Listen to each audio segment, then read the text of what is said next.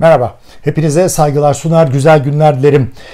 Rusya'nın Ukrayna'yı istilası karşısında Türkiye tavrını sertleştiriyor. Türkiye tavrını bir adım öteye e, yükseltmiş durumda. Bunu nereden anlıyoruz? Bunu Milli Savunma Bakanlığı Bakanı Hulusi Akar'ın e, yaptığı e, bugün 1 Mart'ta yaptığı açıklamadan anlıyoruz. Montre Anlaşması'nın hükümlerinin daha da geniş halde uygulanacağını söyledi. E, bunun ayrıntılarına gireceğiz ama bunun birkaç saat öncesinde bunun birkaç saat öncesinde Türkiye'nin tavrının daha da sertleşmiş olduğunu e, Birleşmiş Milletler'in e, Birleşmiş Milletler'de Türkiye'nin daimi temsilcisi Feridun Sinirlioğlu'nun konuşmasından öğrendik. O Türkiye'nin uykuda olduğu saatlerde aradaki saat farkı Türkiye ile Amerika Birleşik Devletleri arasında galiba 8 saat. Dün ben geçenlerde 7 saat dedim de Amerika'daki bir izleyicimiz 8 saat diye düzeltmiş. Kusura bakmayın bazen böyle e, hatalar istemeden oluyor. Evet. Neyse orada yaptığı konuşmada e, bayağı e, sert bir çıkış yaptı.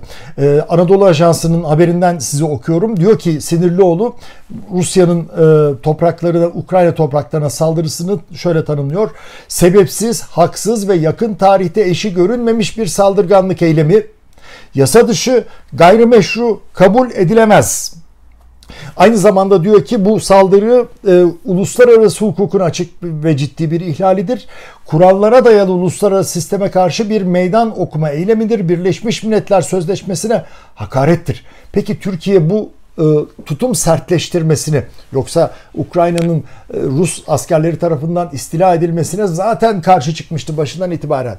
Daha önce ta 2014'te Kırım'ın ilhakına karşı çıktığı gibi. Peki bu tutum sertleşmesi neye bağlı? Şimdi düne dönelim 28 Şubat'a dönelim kabine toplantısına dönelim orada konuşulmuş durumda. Ondan sonra Milli Savunma Bakanı'nın açıklamalarını bugün öğrendik ama arada işte Sinirlioğlu'nun açıklaması var. Nedir Türkiye'nin tavrını değiştiren, Türkiye'nin tavrını sertleştirmesine yol açan? Onu da işte şeyde e, yine Sinirlioğlu'nun konuşmasında onun işaretini de buluyoruz. Diyor ki nükleer silahlara atıfta bulunan Rus söyleminin son zamanlarda artmasını da esefle karşılıyoruz. Rusya önceki gün şey yaptı ya ee, Putin, Vladimir Putin, Rusya Devlet Başkanı Rus Silahlı Kuvvetleri'nin nükleer caydırıcılık alarm düzeyine geçirdi. Bu herkes de bir de İzvestiya gazetesi de aynı gün e, Putin'in uzay komutanlığını, Rus uzay komutanlığını ziyaret ettiğini söyledi ve e, Putin'in Ural dağlarının doğusuna e, işte oradaki karargahına geçtiği yolunda haberler çıktı. Bütün bunlar birleştirilerek şey yorumlarına yol açtı. Acaba bir nükleer silah mı kullanacak? Ya da Batı'nın bilmediği bir kitle imha silahı imal ettiler de o cesaretle mi bu hani kusura bakmayın deliliğe artık deliliğe varan e, harekete kar, karıştı, kalkıştılar. Bütün bunlar büyük soru işaretleri. Bilgi eksikliğiyle konuşuyoruz. Bilgi eksikliğiyle yorum yapıyoruz. Bunu da çok dikkatle e, size söylemek isterim. E, sosyal medyada şu anda yayılan haberlerin büyük bir kısmı e, sonradan çok kısa süre sonra e, yalanlanıyor. Ama e, o sırada verdiği zararı zihinlere, algılarımıza vermiş oluyor. O parantezi kapatıyoruz. E, demek ki e, Türkiye'nin tavrında e, Rusya'nın nükleer silahlardan bahsetmesi rol oynadı. Bir ekleme yapalım. Bugün Putin yeni bir e, talimatla Rus silahlı kuvvetlerinin nükleer hazırlık seviyesini biraz daha yükseltti. Yani bir önceki caydırıcılık seviyesiydi. Şimdi bir üst seviyeye yükselmiş durumda. Bu da endişeleri artıran bir şey. Bir yandan da Ukrayna'nın başkenti Kiev'e karşı bir Kiev'e doğru uzun bir Rus askeri konvoyunun hareket halinde olduğu hem uydu fotoğraflarından hem uçak fotoğraflarından görülüyor. Hava fotoğraflarından 64 kilometre benzetme için söyleyelim, bir karşılaştırma için söyleyelim. Örneğin İstanbul'da yaşayanlar için İstanbul'un en doğu ucundan en batı ucuna kadar olan mesafeden söz ediyoruz. Bu kadar uzun. Ankara'da yaşayanlar için söz edelim. Ankara'nın işte şehir merkezinden neredeyse Kızılcahamam'a kadar olan bir mesafeden söz ediyoruz. Bu kadar uzun binlerce, on binlerce askerin, işte zırhlı araçların, e, topçu birliklerinin filan bulunduğu bir bir konvoy.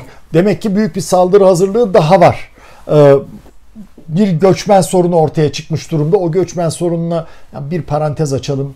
Suriyeli göçmenlere karşı ne kadar acımasız davrandığı Avrupa ülkelerinin, Amerika'nın, Batı ülkelerinin ortadayken Ukrayna göçmenlerine öyle bir şey yok. Kapıları açıyorlar. Açsınlar.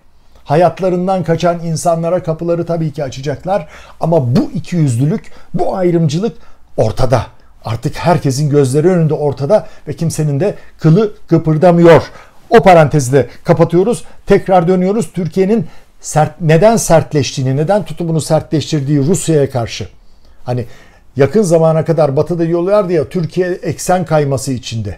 Acaba artık Batı'dan, NATO'dan vesaire kopup Rusya, Çin, İran eksenine mi sanki öyle bir eksen varmış gibi oraya mı kayacak falan diye görülüyor ki kriz zamanlarında gerçek bir kriz ortaya çıktığında Türkiye'nin tavrı NATO'nun tavrıyla aynı.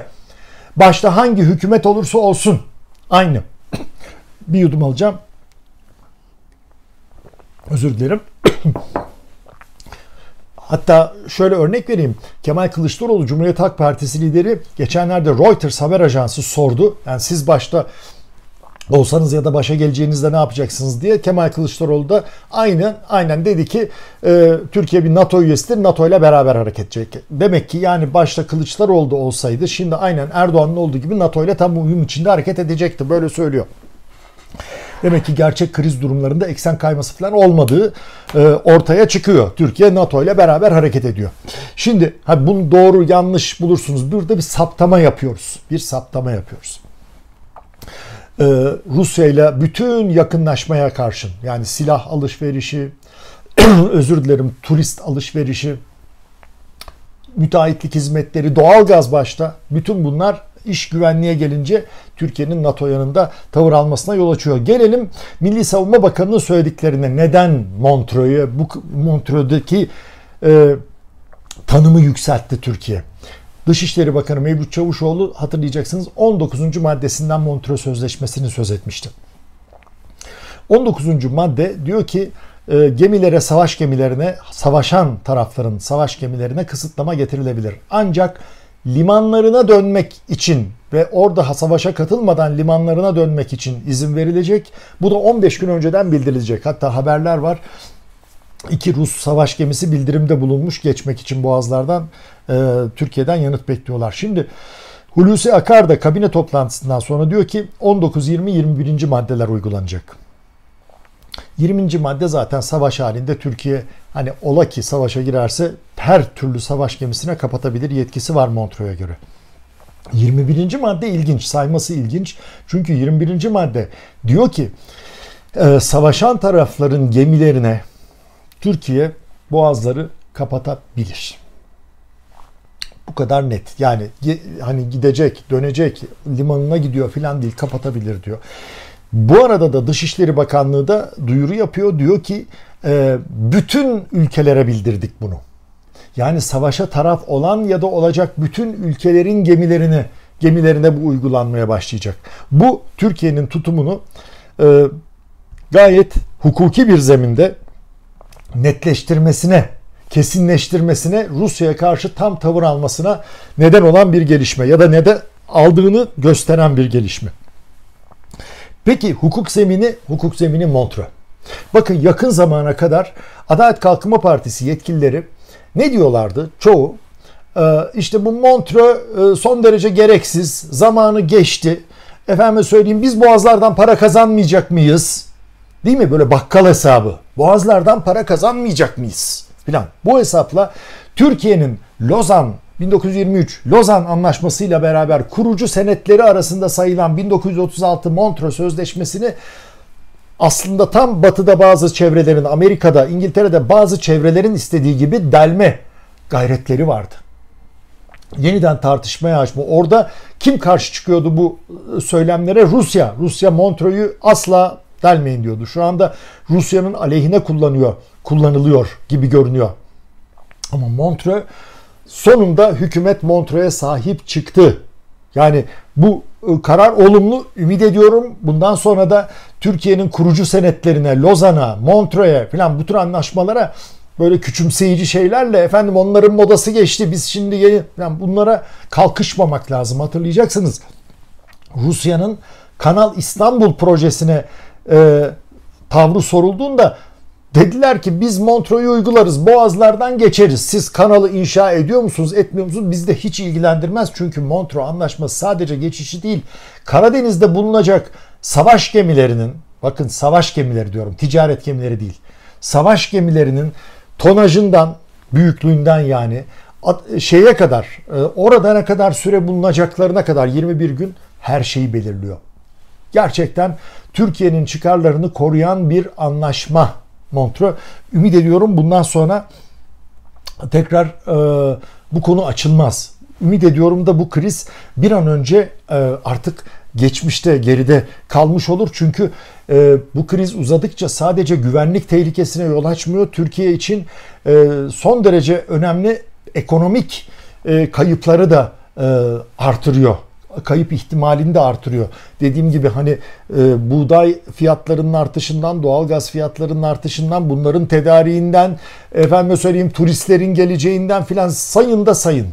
Yani gerçekten e, hani e, daha önce bildi şey yapmıştım, paylaşmıştım sizinle iktisatçı Gizem Öztok Altınsaç'ın bir değerlendirmesine göre e, Türkiye'ye maliyeti bu krizin daha büyük bir savaşa yol açmaması halinde 30-35 milyar doları bulabilir.